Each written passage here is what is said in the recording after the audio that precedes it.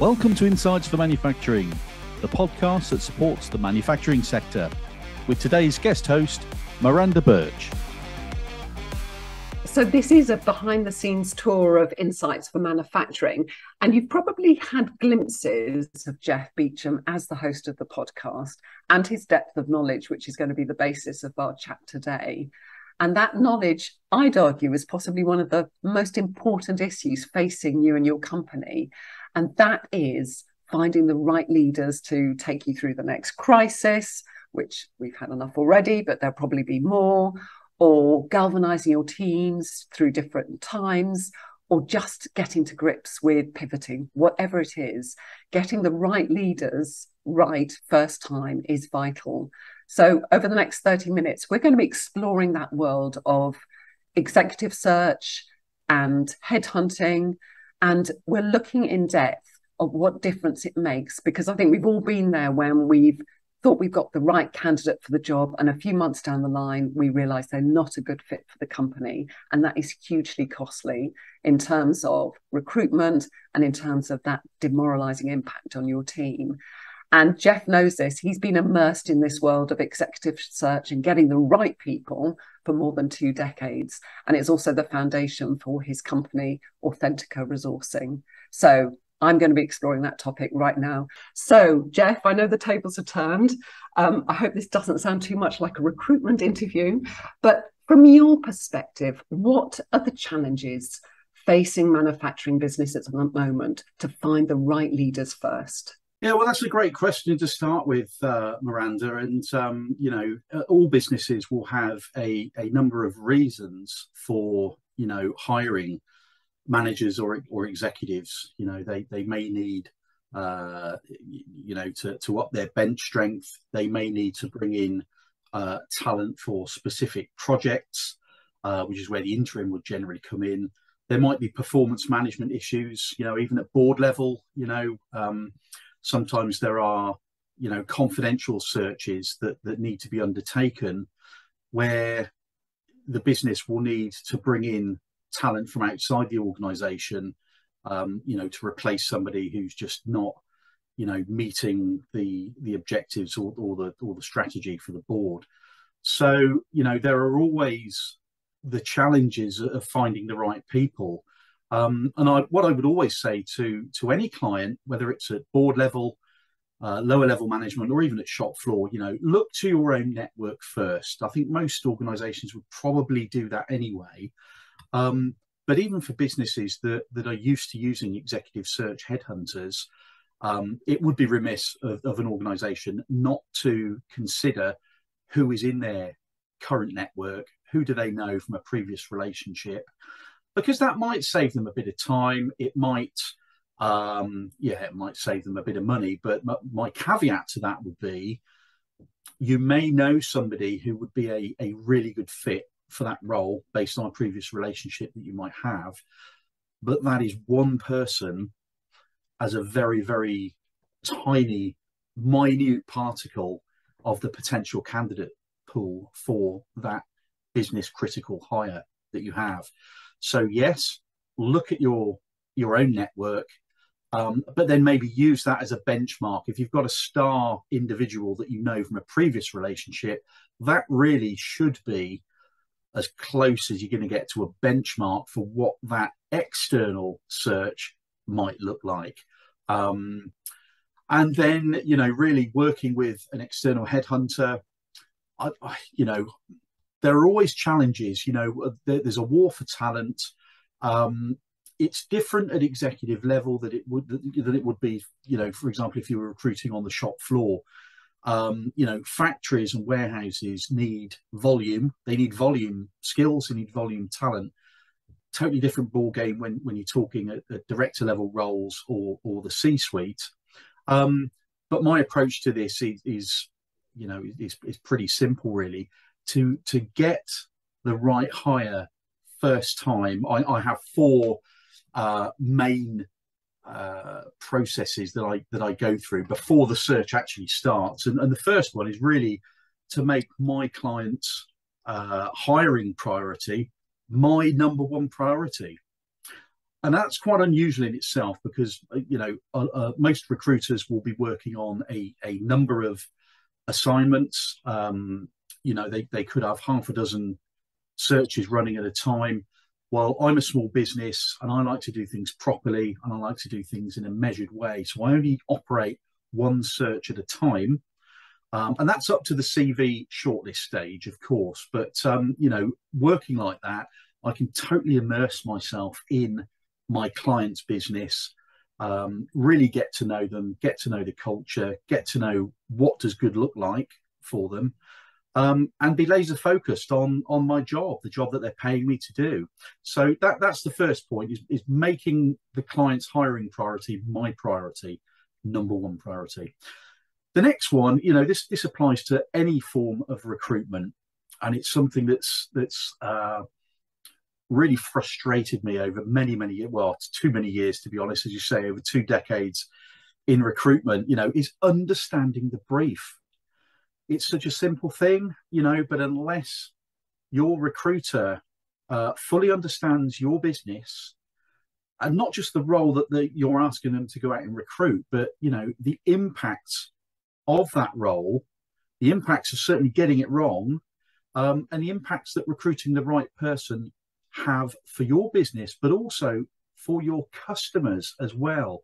So, you know, it's it's all about listening and understanding what it is the client are trying to achieve, not just in hiring the right person, but what, what is the strategy? What what impact does this role have on the overall business success? Number three is then, you know, an obvious one. It's knowing where to look. And, you know, having worked on both sides of the table in terms of retained search, which is where I currently operate, and contingent recruitment, which is the more traditional method of advertising, database search, etc. Um, it really is about, you know, being able to lean in on, you know, a very advanced network that, that I've built up over many, many years. And, um, this again, I go back to to the client and the client's customer objectives. It's knowing where to look in the right place. So having a great network is is fundamental. Being able to ask my network for quality referrals on, you know, senior individuals that are, you know, known to these contacts in my network, um, it really is a valuable resource. So you know, there's we'll talk a little bit more about the process of headhunting, I'm sure, as we go along. But it, it really is as simple as knowing where to look. And not all recruiters can can honestly say that they, you know, before they start working on an assignment, they know where to look. I generally always know where to look before I commence a search.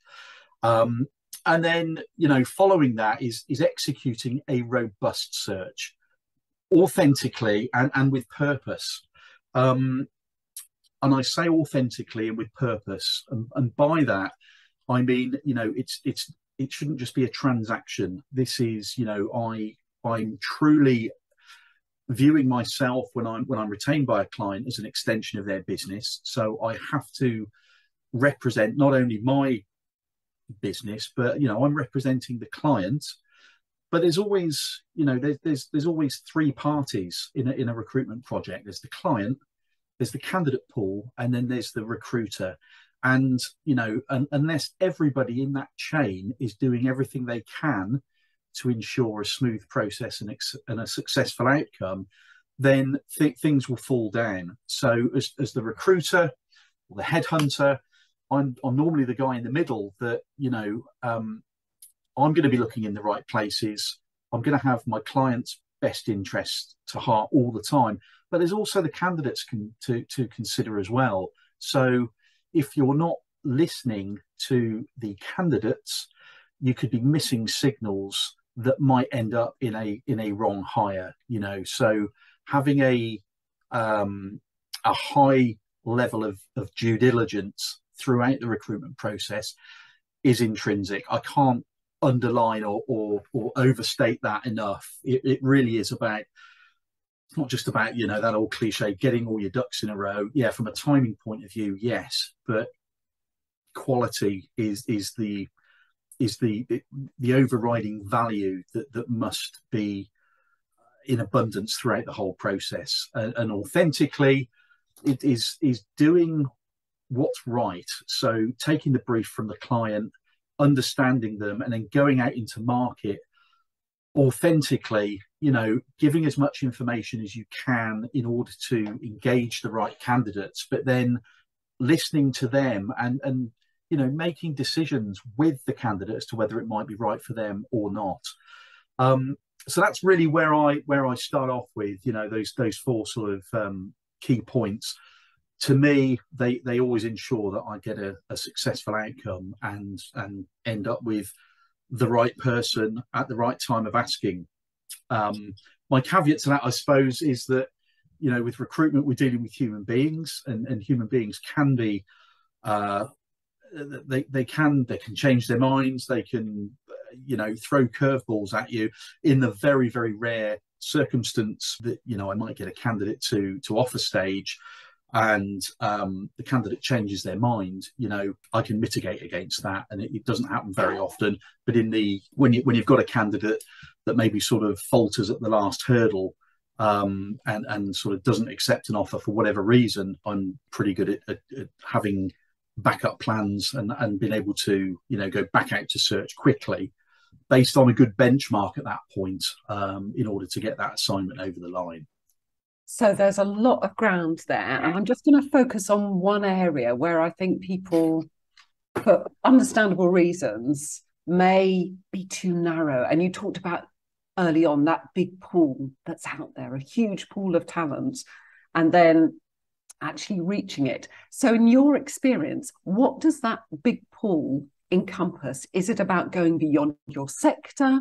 Is it about going beyond your normal network? How far do you push the boundaries to get to that best talent? Yeah, it, it's interesting, and and you you would have depending on which recruiter you're talking to, you'll get different answers, and um, different clients will have their own preferences. So if a client's paying me a retainer to recruit somebody for them, I've got to listen to them, and if they're if if they're narrow-minded themselves, uh, it does create an awkward starting point because you know if if they're from for example aerospace or automotive and they only want candidates that have got a proven background in that sector then uh, for me you know I, I work on the on the on the on the basis of pareto. So it's the 80 20 principle yes a shortlist probably needs to be made up of 80% of exactly that. If they're hell bent on we only want automotive or we only want aerospace or whatever it might be, then then naturally, um, then you know my shortlist would be made up of a majority of candidates from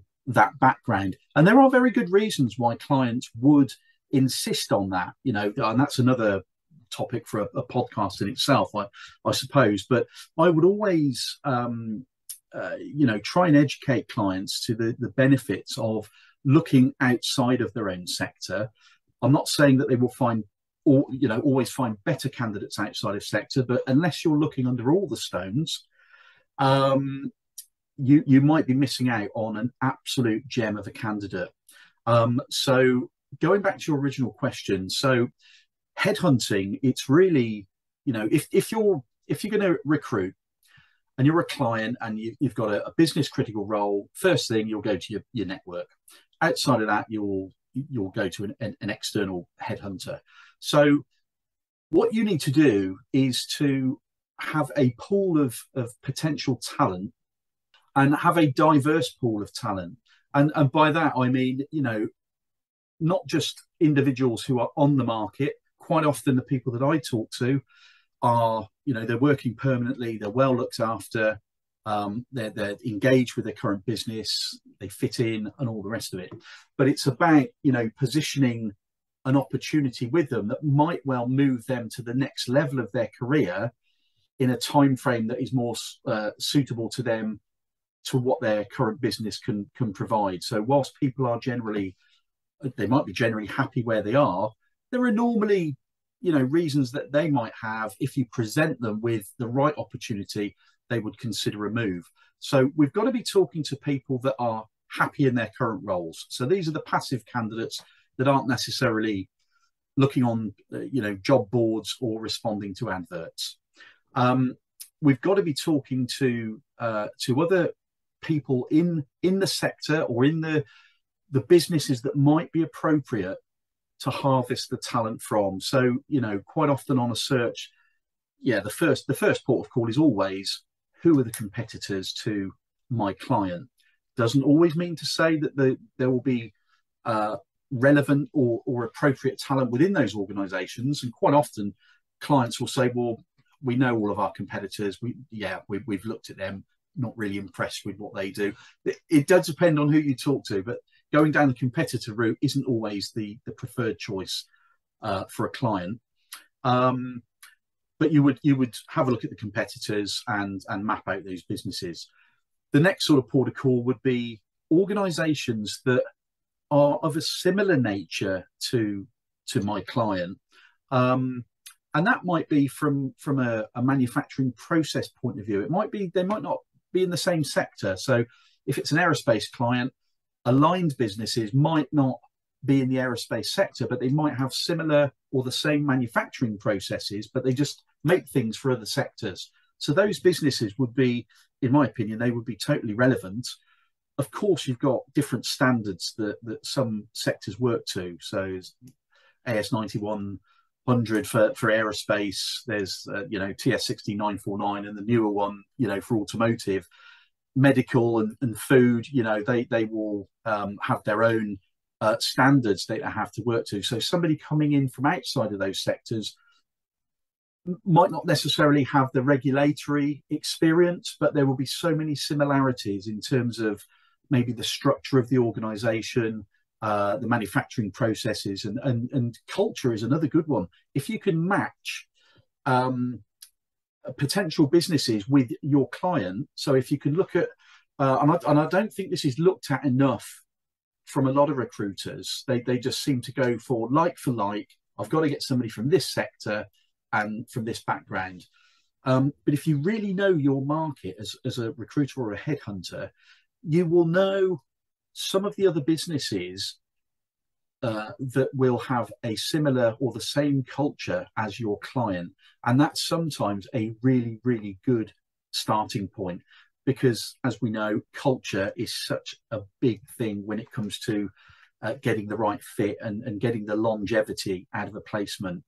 Um, so, you know, there are databases, there are job boards. I don't tend to use them um, often, if at all. Um, you know, it really is about my network, talking to people, getting to know, um, you know, clients, getting to know candidates. They're, most of the people I talk to are at senior level anyway. So usually, any conversation I have could be either or. It could be about an assignment. It could be about is that company recruiting. So most uh, director level and, and, and C suites are you know are open to a discussion with a, a, a you know a good headhunter um, because it may well they may well need the services on, on, on one of those two different routes. So the the strong network, the referrals, knowing knowing my market, knowing my customers' market, knowing who's who in the business is really where you can take some time out of a search that get to the right people quickly. Um, but just coming back to you know one, one of the main sort of challenges, really, you, you can you can match technical skill sets, you can match the the qualifications, the level of experience, the proven track record, and all of that sort of stuff. But you know, uh, for executive search, it really is down to leadership competence, leadership style, and culture fit. It really is. So um, I think you know too many recruiters and some businesses will err a little bit too far in in any one direction on those things. They'll um, they'll you know just focus on the sector experience, or they'll focus on um, all on culture, which is great, and all, all on attitude, and you know drop the ball when it comes to skills. I will. I think it's probably worth noting um, something Simon Sinek has, has, said on a number of occasions. You know, uh, hire for attitude, you can train skills, and or something like that. I agree with that. I really do. You know, if if you haven't got candidates that have got the right attitude, and certainly at leadership level, they've got to have emotional intelligence. So if they haven't got that right attitude, leadership capability and emotional intelligence, they can have all the skills in the world. It's not going to work. The only thing with that is, um, again, I'll go back to the 80 20 principle. Um, you, have got to have the right sort of DNA to be a to be a leader. Some of it you can be coached on, you can be mentored on, you can you can be taught. Um, but I think a lot of it has got to come down to the person you are and how you apply yourself in in business. Um, but the skills side of things, for me, it it is still important. But I would say 20%, you know, they've got to have the right background, the right skills, they've got to have knowledge about the industry, the processes, the standards, what, whatever it might be. Um, and then the 80% is obviously their leadership skills, capability, and, and, and emotional intelligence and how they apply themselves. Um, so it's really important to to look at, you know, has the client identified the right fit? What does the ideal person look like in the first place before you've even started to recruit? Because um, quite often, you know, businesses they might have a, a director, for example, an ops director or a, uh, a business development director that's been in post for 10 years. Now, that role might have changed over that period. The company might look totally different to what it did 10 years ago, the last time they recruited. The structure of the organization might have changed dramatically. So, when was the last time they reviewed the, the job description for that for that role? And at senior level, it, it's just so important that you know these are business critical roles. So what does that individual do today? So if we're going to be replacing somebody what does that job description need to look like? And not just what does the what does the job description need to look like but where where are the gaps with the last person doing that role? Are there areas for improvement? Are there things that we need to change about that job description today to enable that leader to be able to perform um, you know to the to, to the to the optimum of their capability for the future business needs as well. So I, I think sometimes there can be an element of laziness um, you know either with the, the the client in terms of you know not really giving a, a an up-to-date version of what they want. And sometimes a recruiter might not ask enough questions around that, you know, because we're not recruiting generically at this level.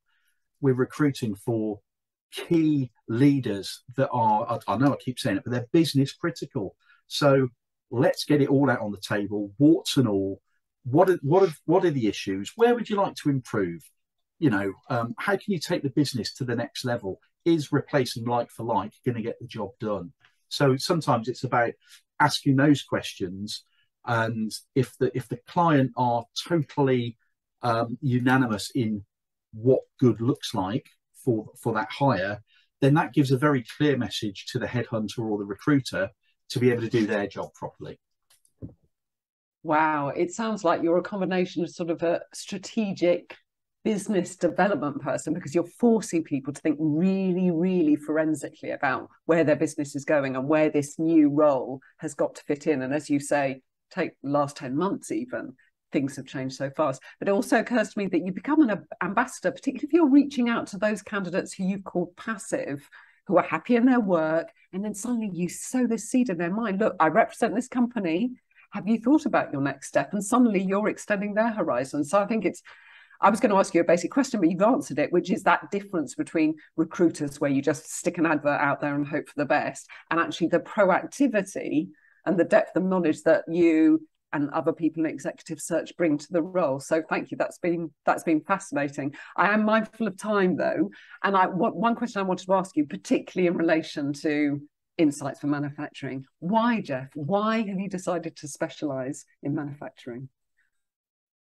Uh, well, it, it, goes back to, I, I, suppose, my my youth. Uh, you know, in a in a previous life when I was a lot younger, um, I, I, worked in manufacturing and production environments, um, albeit within uh, quality control. Um, but uh, you know, I was used to working in a in a sort of production environment, and the, the sort of the environment and the and the mentality of, of working within quality has always stayed with me. Um, I'm not an engineer. Um, I'd, I'd, make a, a terrible engineer, um, but I, am very inquisitive. I love how things get made, um, and I like to see in my work. You know, we, have got the the people side of things. You know, recruitment. I, have always recruited within engineering, manufacturing, um, and a bit of distribution, but working within manufacturing really whilst i'm recruiting at leadership level these days there is always that connection to what are the products? What does the company do? What difference are they making in the world? You know are they you know in, into you know renewables or any energy saving devices or do they supply the medical industry healthcare? Are they keeping planes from dropping out of the skies? Are they you know producing components that go into defense systems. These are all things that affect all of us, you know, as human beings. Um, there's the food industry as well. Uh, capital equipment is another area that I recruit for. It all comes under manufacturing, really, but you know, the the the equipment businesses, the the machinery and production line businesses that that make automation and, and production lines that make food, uh, they're keeping the country fed. Um, so it's really, really, it makes a huge, huge difference. So I, I love to see how things are made. I love to learn about different materials, different machines. Um, I'm just really inquisitive. My brain is an absolute sponge, and uh, I think when when you and I spoke last year um, or earlier this year, you, you asked me a, a, similar question. I think at the time I said, you know, I'm a little bit like um, the kid walking around Willy Wonka's chocolate factory. You know, manufacturing is just so exciting. It's it keeps evolving.